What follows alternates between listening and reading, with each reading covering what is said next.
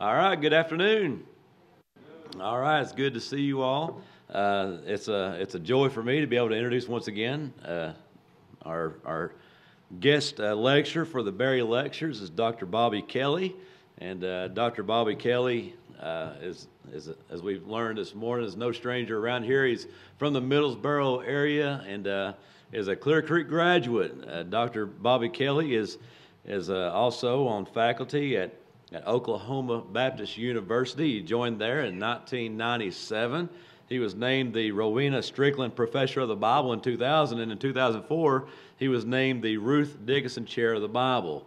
He received his PhD in New Testament studies from Southwestern Baptist Theological Seminary in Fort Worth, Texas in 1998, where he also served as a teaching fellow there for three years. Uh, re- uh, received his Master of Divinity degree from Southwestern Seminary in 92 and his bachelor's degree from Clear Creek in 1988. He, um, Dr. Kelly contributes articles frequently to the Biblical Illustrator as well as dictionary articles and presentations at, at professional conferences. More importantly, he is married to his wife, Angie, of 26 years where they have two children together, uh, Luke and Levi. And uh, it's good for him to be back here at campus. This is, this is home for him. And, and uh, as we enjoyed our chapel service this morning, I know that, that we're going to enjoy our lectures as well. Uh, he, uh, he has a, a huge task ahead of him. We, I know that if you ate over at Kelly Hall, you're probably really, really, really full with the, uh, the fried taters and chicken with ham somehow infused in that and top it off with a big old slice of uh, peanut butter pie. Oh my goodness! But hey, he, he can do it. If anybody can do it, Dr. Kelly can do it. So, brother, uh, allow me to pray for you, and then you come on ahead. Lord, we come to you in prayer. We thank you, God, for this day that you have blessed us with. We thank you, Lord, for Dr. Kelly being here. I pray that you just bless him, anoint him, uh, Lord, uh, during our, our Berry lectures. And, and Lord, I pray that we'll just glean as much as we possibly can. We thank you, Lord, so much for putting this together. It's in the name of Jesus that we pray. Amen. Yeah, that's uh, after you eat that much. And I couldn't stop. I was full, and yet the pie was still there. So, how many, how many of all ate over there today? Huh?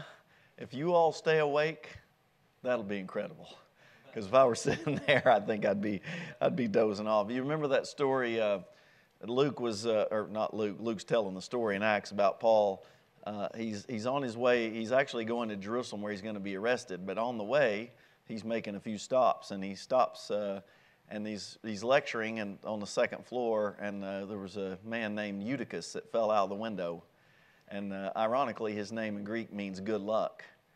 He falls out, he falls asleep. Apparently, Paul went on too long and uh, a little long winded. The man falls out of the second floor window, dead, dead, falls dead. And Paul raises him up. Uh, so we're not on the second floor, so I guess you're safe, but it could, could be a story of a cautionary tale. Well, we're back to, uh, let's talk about parables uh, a little bit, and at least this first hour. Uh, I just I just want to talk about the nature of parables and how we should think about them, and then we'll see. I, I may uh, talk about the parable of the sower in the second hour that we have. So, what is a parable? Um, obviously, it's a story. Now, in the New Testament, there are lots of things called parable that aren't stories. Uh, the New Testament will, uh, Jesus can say, will a, man, will a blind man lead a blind man? Will they not both fall into the ditch? And that's called a parabole.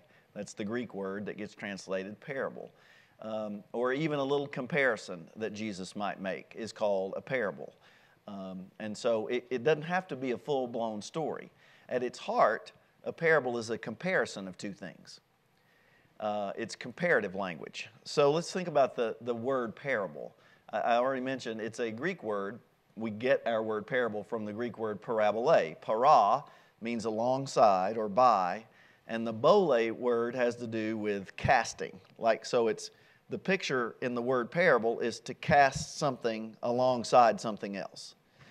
So the idea is here is something that you want people to understand. It may be really profound, it may be really complex, so it's hard to describe this thing.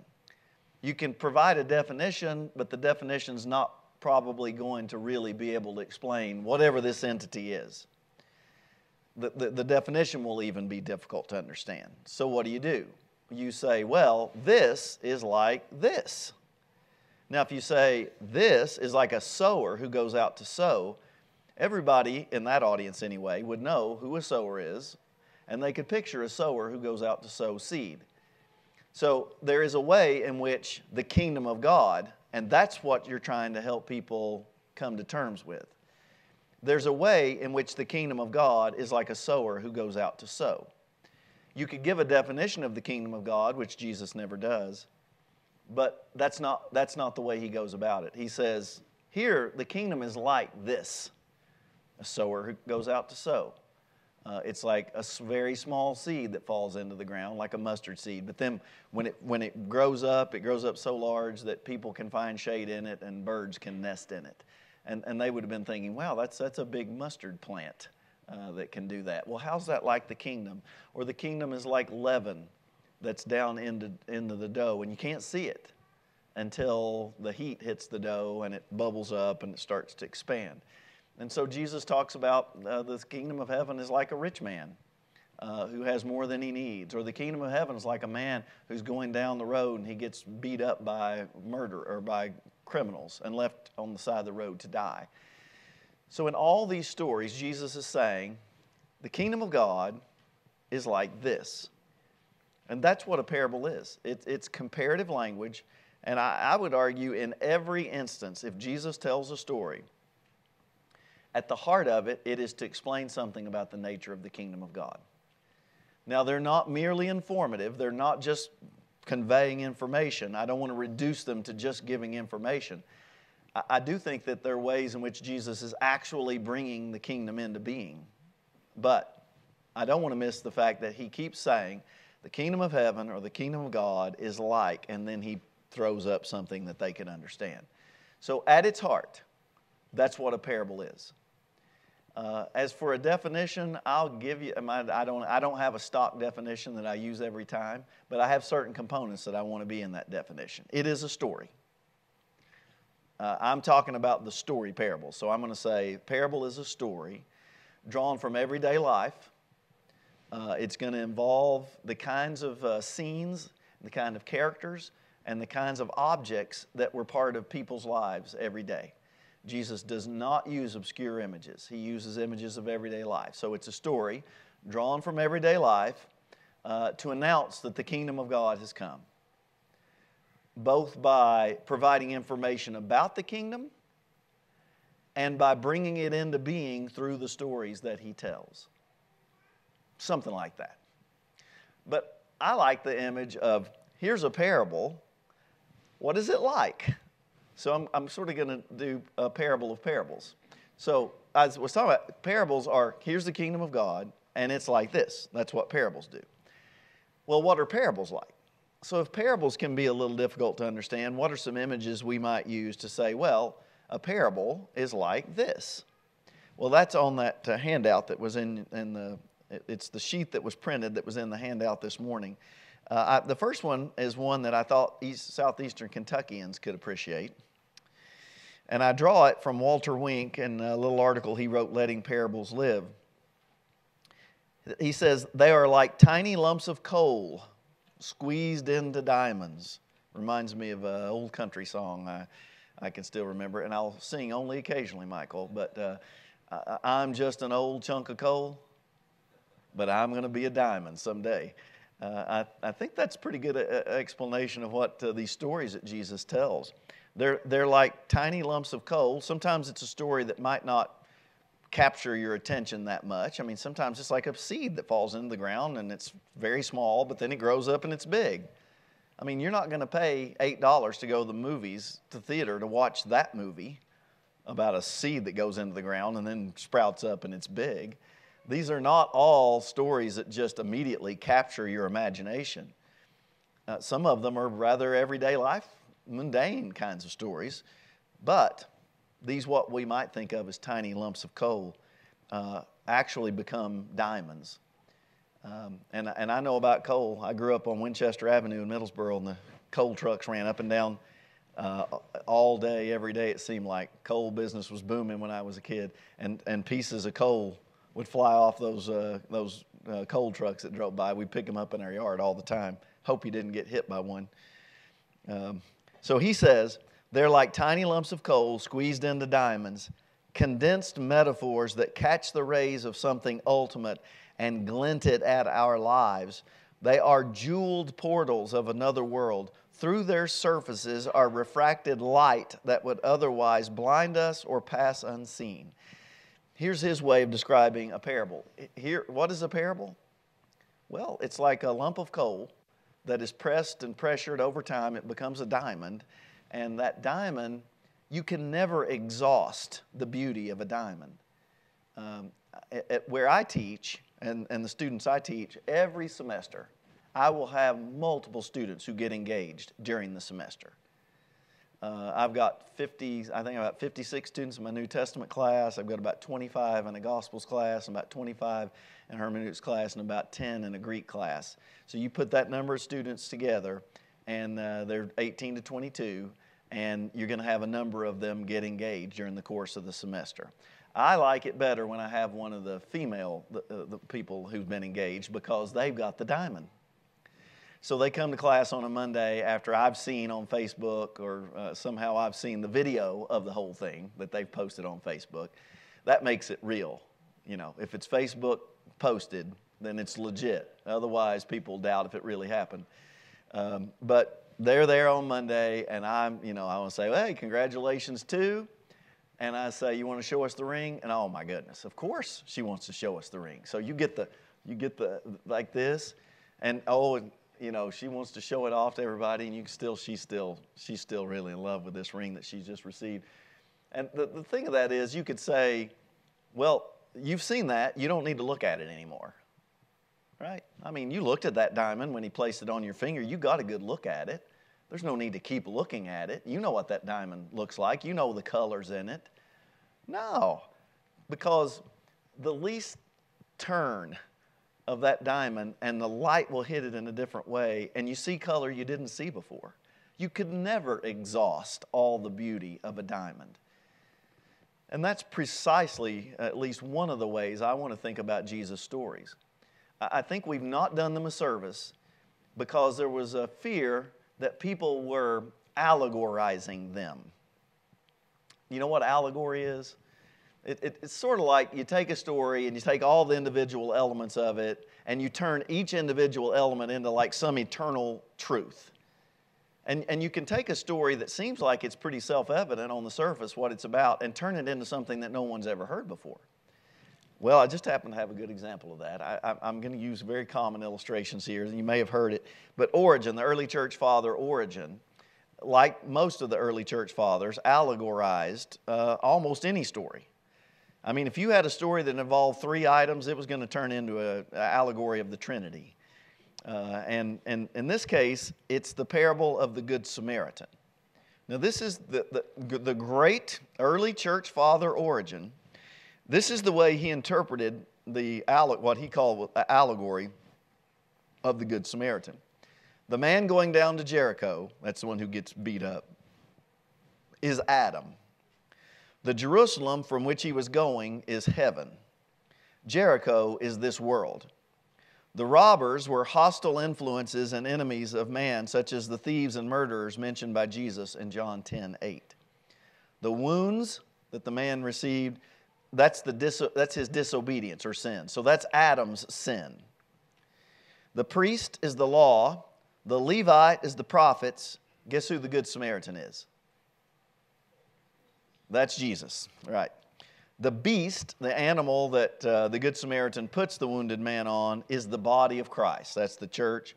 The inn, uh, or that's the body of Christ. No, that's the actual body of Christ. The inn is the church. The two denarii, he says, uh, I'll pay you two denarii if you take care of this man. That's the knowledge of the Father and the Son. The innkeeper is the, that's the angels in charge of the church. And the return of the Good Samaritan, of course, is the second coming of Jesus. Now, that's an allegory of the parable of the Good Samaritan. Well, I thought it was uh, about who's my neighbor. And, and so it was this kind of for a good part of the church's history, parables were or allegorized. And there's some danger to that because, I mean, what are the controls? Who can say, no, the beast is not the body of Christ or the, the, the inn is not the church? There's no, there's no way to determine is that a legitimate interpretation of that or not. And so it led to, in more uh, modern times, a rejection of allegory and the quest for one central truth of the parable. I like that. I, was, I, I cut my teeth on that, that you find the one meaning of the parable. But now here I am, 22 years of teaching, thinking about this for longer than, than uh, you know, longer than some of you are old, and uh, deciding that might be too restrictive. Now, I'm, I'm never going to open it up and say you can make the, you know, you can make any item in the parable some universal truth or that this, you know, I'm not going to do that. And I'm not going to say that it can mean anything you say it means. But neither am I going to say you can only have one meaning of, a, of any story that Jesus tells. And my fear is because we go for the one meaning, because we say you got to find the single meaning of the story, that once you've found that, why the need to keep going back to the parable? If all the parable the Good Samaritan is, is a story about my enemy is my neighbor and I'm to love them, then once I know that, why do I need to keep going back to that story? I already have it. It would be like saying, I've already seen that diamond. What, what I found in teaching this, thinking about this, is that yes, there might be this overarching idea about my enemy is my friend or, or is my neighbor. But there are more nuances in that story, and you might not realize it when you're 18 years old and you hear that. Maybe at 18, you've got some racism in your heart towards somebody that you go to school with, and this parable helps point it out that even that person is my neighbor and I'm supposed to love them. But maybe you're 30 and maybe you don't deal with that racism anymore, but there's something else that that parable speaks to, and it, your life experiences, where you, where, where you go through in life, all these things, for me, is like turning the diamond. And you read that parable at another point in life, having different experiences, having different needs, and you might see something in that story that you never saw before. This is why I like the image of the, of the diamond. Maybe it seems pretty everyday kind of story, like a lump of coal, but in the, in, on the lips of Jesus and turning over in our minds, it becomes a diamond that can never be exhausted in its full beauty. So I keep going back to them, even ones where I feel pretty solid about, well, there's a, there's a central idea here that's pretty easy to grasp. But I want to keep reading the parable and allow it to impact me in different ways forever. And they do that. And I'm sure you've had that experience. You've gone back to a story that Jesus told, and you think, wow, I never thought of that before, uh, or that never occurred to me when I saw it before. And it might change the way you think about yourself, or God, or your world, or the church. And so I, I think that's valuable, and I think that's part of what a parable is. It's not just a story with a single meaning. I think it, it's more profound than that. And I'm going to talk a little bit later about some ways to avoid allegory but also be willing to be open more than just a single idea. Second uh, image I have here is weapon of warfare. And I think it's important to think about these parables in this way. These parables are not simply Jesus explaining things. That's too reductionist, that's too minimalist. These, these stories that Jesus tells, they, they are actually part of the weaponry of his warfare. Now, what's evident in the ministry of Jesus is that from the very beginning, he's engaged in a war, in a battle. And you see it uh, in all of the Gospels. Uh, Mark sort of gets to it quickly uh, because Mark doesn't have any birth story. Uh, he doesn't have anything. Uh, right at the beginning, he says, the beginning of the gospel of Jesus Christ, the Son of God. And then John the Baptist is coming out of the wilderness. He's baptizing. By verse 14, Jesus is going into Galilee preaching the gospel, saying, The kingdom of God has come upon you. In chapter 1, the first miracle that Jesus performs, he's in the synagogue teaching, like opening sermon, first sermon. He's in the synagogue teaching, and a demon possessed person comes in and starts screaming, What do you have to do with us, Jesus of Nazareth? And he says, Shut up and get out. Not to the person who has interrupted this, his sermon, his uh, Barry lecture, not to the person, but to the demon, the unclean spirit that has possessed this person. Opening, one of the opening scenes, first miracle is an exorcism. What's that tell you about Jesus' ministry? That he is in conflict. There's hostility towards him from the powers. And it also becomes clear, you know, who has the power here. Uh, he does. But spiritual warfare is happening every moment of his existence at levels that we could not imagine. So, how does he overcome the powers? Well, it, it, it's not just by his death because he already has authority over them. So there's, it's more than just his death and resurrection. There are other weapons that he's employing in his warfare against the powers. And one of those weapons is the telling of stories. And I hope that we never underestimate the power of a story. Um, I think that you can give people commandments, thou shalt not, and people can dodge a commandment. We find ways around the commandment. You know, like, thou shalt not commit adultery. All right, that sounds pretty, that, there it is. No debate about that. Well, then you've not worked with young people because they want to know well, what constitutes adultery? Uh, exactly how far can I go before I've committed adultery? And of course, anybody who's asking that question is probably up to no good. Um, but we find ways to dodge, thou shalt not murder. Well, I've never killed anybody, so I'm solid there. You know, but then Jesus says, well, it's more than just literally taking their life. What if you have hatred in your heart? Um, but just a sheer commandment, we can, we, we know how to dodge that.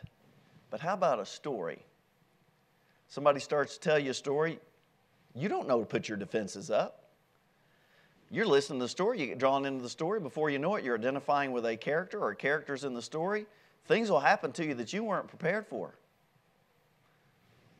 Have you ever watched a story, heard a story, start to notice your eyes welling up? Tears roll down your cheeks. You're thinking, where's this coming from? You're sitting there in the theater. Maybe, you, maybe if you're like me, you don't want to be like a blubbering idiot uh, when you find out their, their Labrador retriever died in the movie. But here I sit, you know, just tears rolling down my face. Where's this coming from? I wasn't planning on this. I didn't know the dog was going to die. Should have told me that up front. I might have gone out for popcorn at that point in the movie. The stories just have a way to they sort of lure you in, not deceptively, but they just bring you in, and then you're caught. And a story can impact you in a powerful way, in ways that thou shalt not might not be able to. So, what's Jesus doing when he's telling these stories? He's, this is part of his weaponry against the powers. These telling stories wasn't just giving information, this was part of bringing the kingdom into being. Now, I know that's kind of hard for us to understand. How would a story bring the kingdom of God? The announcement that the kingdom of God has come is part of the kingdom of God coming. And part of the way he announces that is with his stories. Stories are powerful. And I'm saying, what is a parable? It's a weapon of Jesus' warfare. Now, I've got two, two examples of how that's uh, been uh, sort of been worked out. One of them is Eugene Peterson. He's the person responsible for doing the message translation paraphrase uh, of the Bible. Uh, not everybody likes the message, and I certainly wouldn't recommend you using it as a study Bible, uh, but it's a brilliant commentary, in my estimation. It's more of a commentary than it is a translation, but he was brilliant, a brilliant translator. Hebrew, he was able to handle Hebrew and Greek um, he said about parables, and um, he says it in The Contemplative Pastor, returning to the art of spiritual direction. He refers to Jesus' parables as narrative time bombs. Um, and the point with that is you tell a story. Maybe someone is not immediately impacted by it, but they keep rolling it around in their heads. You ever done that? You ever heard a story, thought about a story, seen a story, and then you, you rolled it over in your head, and at some point it's like, oh, and, and something hits you, and you understand something, or, or you come to realize something important, uh, like, nar- like a narrative time bomb. They don't always explode immediately. And then what I find a more compelling statement of it is by uh, a man, his name's Roy Clements, in a book called A Sting in the Tail. Here's his quote he likens the parables to a stealth bomber, specially designed to evade our psychological defenses, insinuating themselves inside our mind in spite of every barricade we may seek to erect, and then dropping a highly explosive charge targeted at the most vulnerable point in our spiritual complacency. And it, it's just the point that I was making. Uh, thou shalt not. We, we can find ways to sort of uh, evade that if we want. But a story, you don't even know that the defenses are up. It's a story.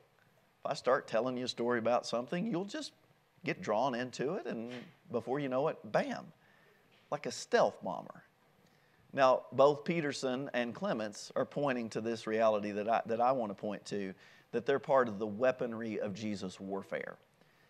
Now, I will, uh, I will strongly emphasize that the strongest weapon that Jesus uses, sort of the nuclear bomb, is the death and resurrection. His telling of stories does not, is not comparable with his, I mean, what he does on the cross is the ultimate in his defeat of the powers. Um, he was nailing them to the cross in a sense, along with our sins. So I'm not going to make them equal to that act, but it's part of the weaponry, with the climactic event being his death and his resurrection. Um, so I don't, I don't want to overplay this, but I do think they're part of his weaponry of warfare against the powers. And we know that Jesus was caught in uh, this spiritual warfare from the very beginning. Next image. So, what is a parable? Well, it's like a lump of coal pressured into a diamond. It's inexhaustible. Uh, we, shouldn't, we shouldn't think that we've solved it when we find a meaning there. We should, we should keep going back to it to see what more beauty we can find. It, what is a parable? It's like a weapon of Jesus' warfare. And the third one, parables are a window. Parables are windows onto reality. Jesus gives us, through his stories, the ability to see the world for what it really is. Uh, can, you can pick any parable and think about it, but the parable of the Good Samaritan works pretty well. Um, we get caught in, in this present evil age, people who are fallen and given to tribalism and sort of us against them mentality, it's easy to see certain other groups. And this will change depending on where you are, in the, where you are in the country. Uh, you know, this part of the country is not always seen as the most welcoming to strangers. Uh, my colleague, Alan Bandy, imagine this two Clear Creek alums teach at Oklahoma Baptist University. Uh, it's, uh, it's uh, what are the odds of that? But Dr. Bandy, um, who graduated, he's, he's about a decade younger than me. He came after I did. Um, but he talks about uh, coming here. His father in law came to Clear Creek and recommended he did. He was a little bit later coming to his call to ministry. And uh, they're trying to, they're, he's coming from Maryland and he's having a little bit of try, time, a hard time finding Clear Creek um, didn't have GPS devices. So he stops at some store to get directions. So he walks in. He's from Maryland. Now that's Yankee country where, you know, from my point of view. So uh, uh I don't know where the Mason-Dixon line is, but it's, from my view, it's above it. It's Yankee, Yankee country. So he comes in, and I'm sure with his uh, Maryland accent, asks, uh, could you guys give me some directions? And he said it was two old guys, like sitting at a table and I might be I might be making this up because that's the picture I had, but I can imagine him sitting there with like a you know like an RC cola with peanuts in it, and uh, they just look around at him, and one of them says, "You ain't from around here, are you?"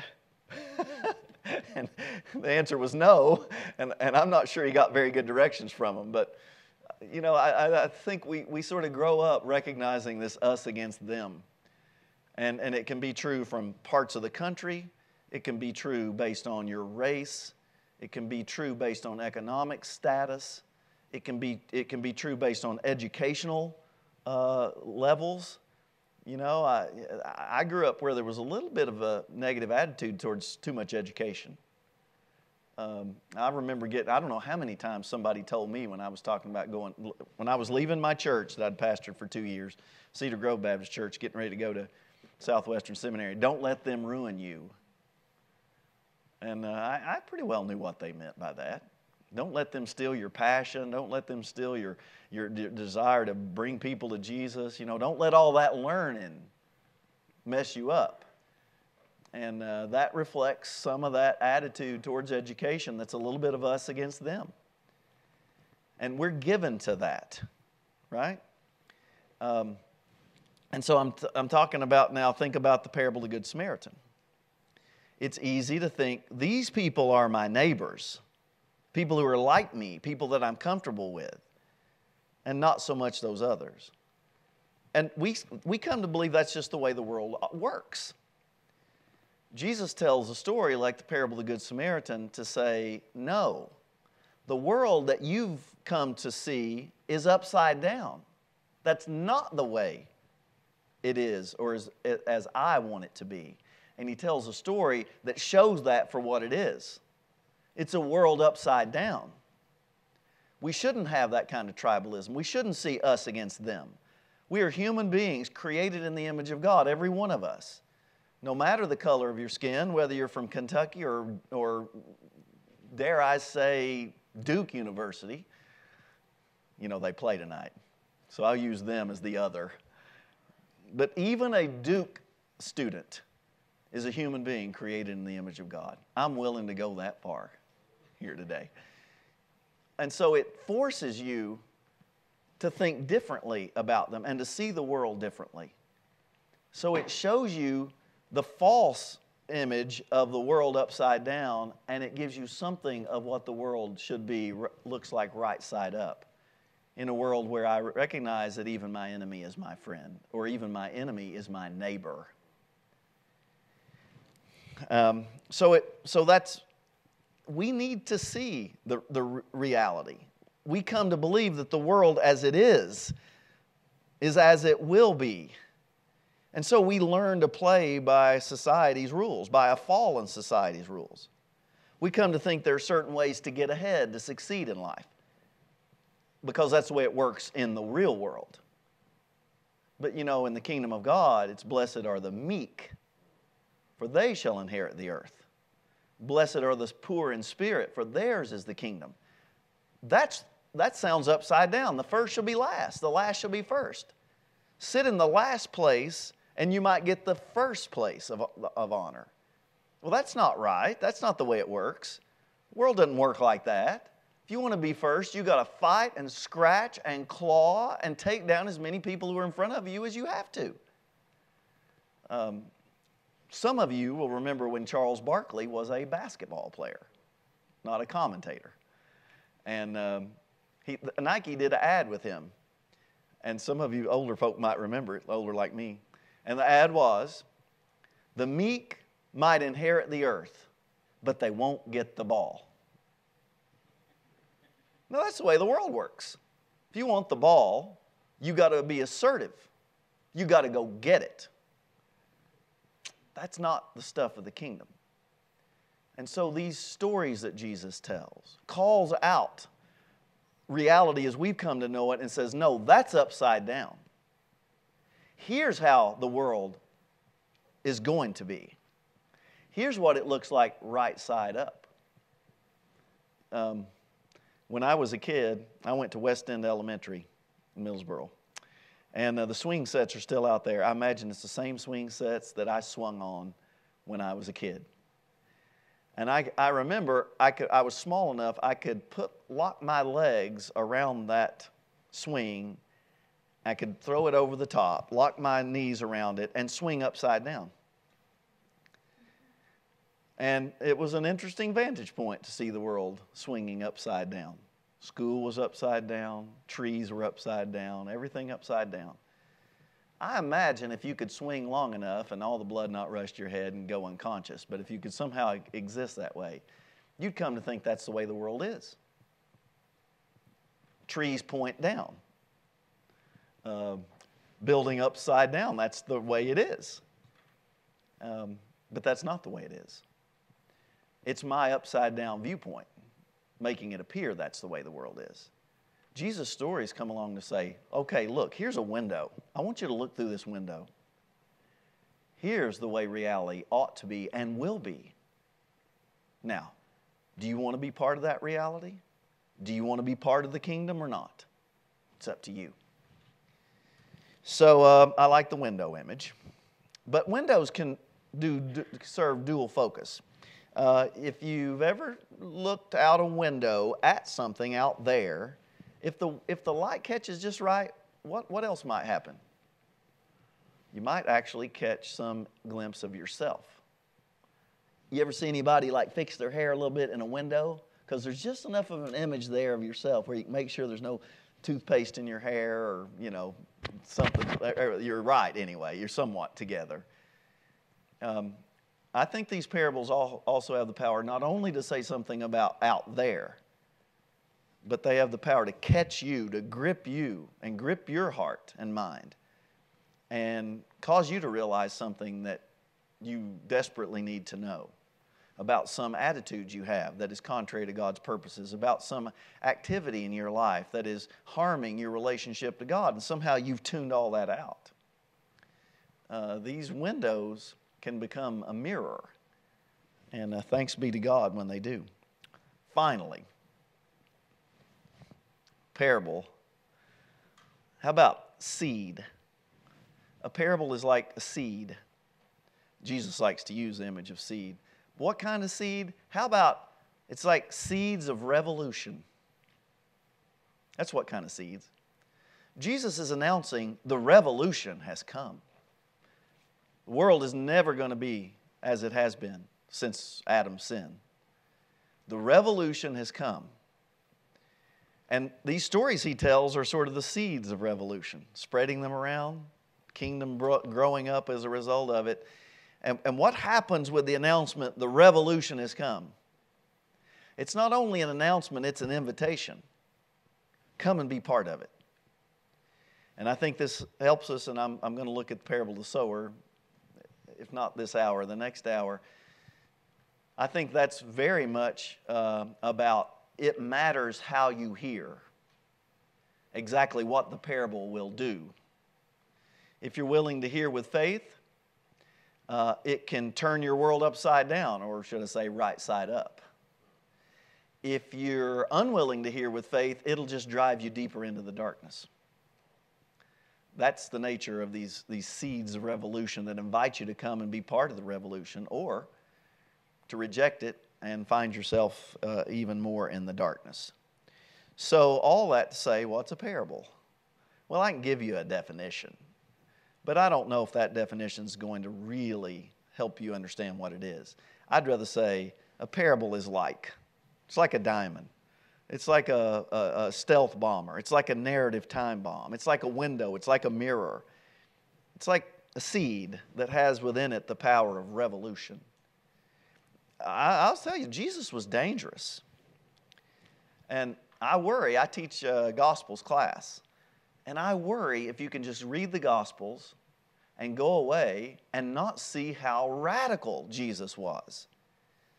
Jesus would have had a very hard time um, getting hired to teach at Oklahoma Baptist University or even getting elected to be pastor, called to be pastor of a church. I'm afraid if people listen to him very much, they say, oh man, he's too radical. He's going to stir people up too much. That's what he did. He's announcing something world changing. The revolution has come. And so we take this lion that's roaring and, and we turn him into a nice little domesticated house cat who just basically thinks like we do. You know, he, his attitudes are our attitudes. And, and if he happens to roar just a little bit, we'll find a way to pet him a bit until he, he lines up with our politics, till he lines up with our theology, till he lines up with the way we view other people. And uh, there's a danger in that. And I tell my students if, if you're able to, in this course, read through the Gospels like we do, look at passages as we're going, and at the end of all this, I say, How are you changed by Jesus' teaching and by Jesus' actions? And you can't think of several tangible ways in which his teaching has caught you, convicted you, demanded that you change your life, then I'm not sure we're really listening. Or we've domesticated him so much, we just find a way that he, he is us, and he's not. And I promise you, all of us harbor attitudes as we sit here today that are not in line with the kingdom of God. All of us. We're still part of this present evil age, and we still have a ways to go. And uh, if we just keep reading the Gospels and just finding ourselves not moved very much or not challenged, then I'm not sure we're really allowing him to speak. We're forcing him into our already sort of preconceived ideas about things, and he's just one of us. Don't do that. Uh, all right. Um, I think probably this would be a good stopping point. Uh, I got 1246. So uh, I'll give you, that's a little under, four, that's about 14 minutes, a little under 15 minutes. Oh, let's do that. I got time for that. Okay. How about questions? Look, we got a microphone over here. Uh, if you want to do that, if you want to come to the microphone, I would repeat your question if you just don't feel like getting up. But if you've got a question, I'd love for you to uh, ask your question or raise your hand and I'll repeat your question. Oh, don't be afraid. Come on. Come to me. I want no sudden movements. Come on.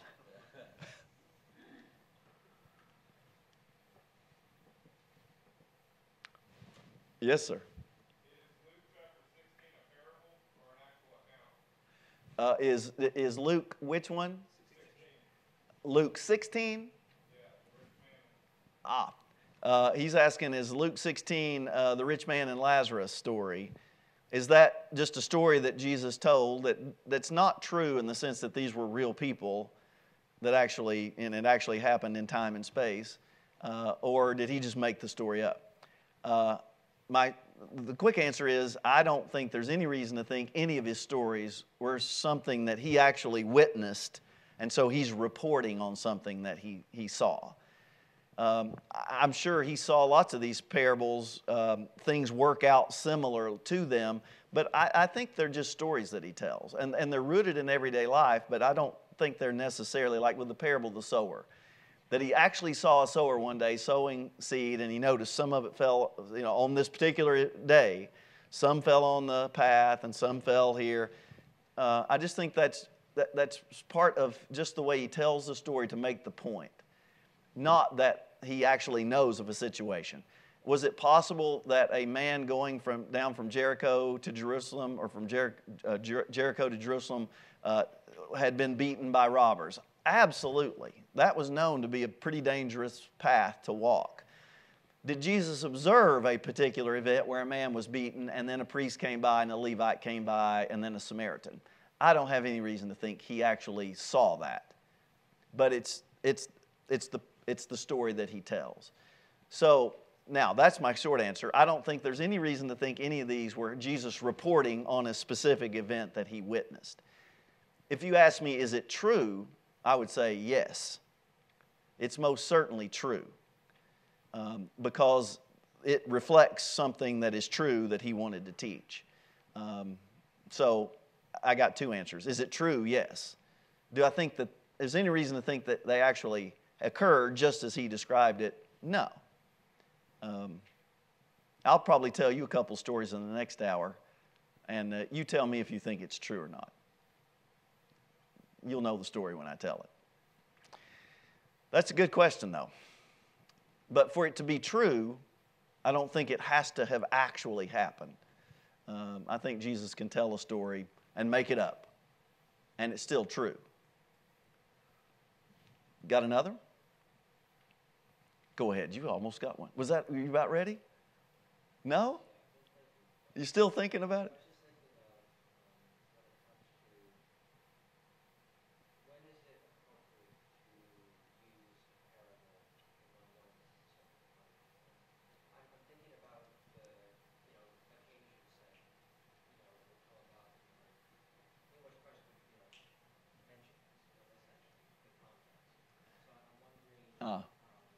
When is it appropriate to take a story that Jesus told.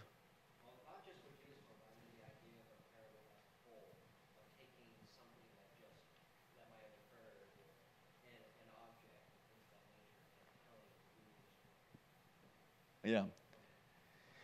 Well, I, I think it, it's as appropriate as any other way we try to address a situation that we see. If we see a situation we think it's not right, it's unjust, or a person needs is going in the wrong direction, we would tr- we would try to address it through all types of means. And I think a story is a is just an, one of the ways in which we could do that. And um, it raises a good question about Jesus stories, um, because I bet he told these stories more than once. I bet he told many of these stories over and over again, maybe changing it a little bit depending upon the audience or the situation. We have most of them only in one of the Gospels. You know, there are only three parables that are in all three Gospels. Just three. Now, John didn't even have parables. But Matthew, Mark, Luke, there's only three parables that are in all three. You want to take a guess what they are? The sower is one of them. Uh, the, uh, uh, the, if the vine dresser, if by, uh, uh, let, me, let me make you right. The story about the wicked tenants, uh, the, the one where the, the field is rented out, the vineyard is rented out. See, I'm getting, to, I'm getting you partially right there. Uh, but it's rented out to tenants, and then when it's time for the, uh, to collect, they kill the servants that the vineyard owner sends. That one's in all three.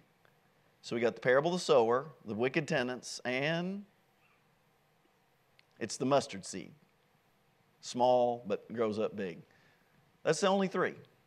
All, um, uh, most of Luke's parables, and almost every one that we're going to look at, with the exception of maybe one, is unique to Luke.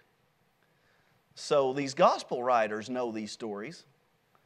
Uh, they've become aware that Jesus told stories, but they don't use every story they know.